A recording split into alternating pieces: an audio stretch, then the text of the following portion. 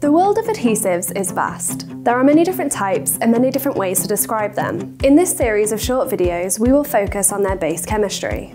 Today, let's have a look at hybrid polymer adhesives. Hybrid polymers are made up of modified silane polymers, also known as MS polymers. They have the strength of polyurethane and the weathering resistance of silicon. There are a wide variety of hybrid polymer formulations, which can range from high-strength structural adhesives to low-strength sealants. Hybrid polymer adhesives only require moisture to cure, so they will almost always come in a one-component foil pack or cartridge.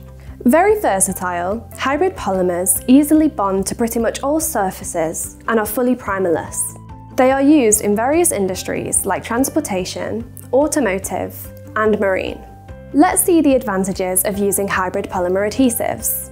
Hybrid polymers provide a very good seal. Any hybrid polymer formulations, whether they're structural adhesives with strengths of up to 5 megapascals or low-strength sealants, will have good sealant properties. Hybrid polymers are very flexible. In situations where there is lots of movements and vibration, they will efficiently deal with the shock.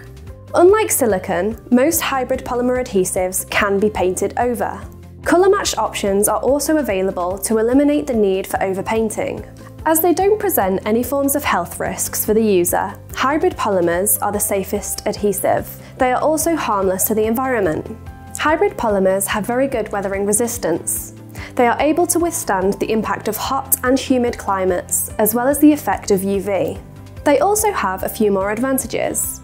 Long shelf life, fire-resistant options, no bubbling when curing, and no staining on substrates. Hybrid polymers also have some disadvantages. Cure time can be long and inconsistent. Hybrid polymers cure time is typically the slowest out of all structural adhesives, and since they require moisture to cure, limited moisture could extend or prevent the cure. The high viscosity and high grab of hybrid polymers means they instantly stick to the surface. This makes cleaning off the excess adhesive from the substrates difficult, requiring specific skills to achieve a good finish. Hybrid polymers are good at most things required of glue, while not having as many drawbacks as other structural adhesives, making it a very popular adhesive. If you want to know more about other types of adhesives, make sure you subscribe to our channel.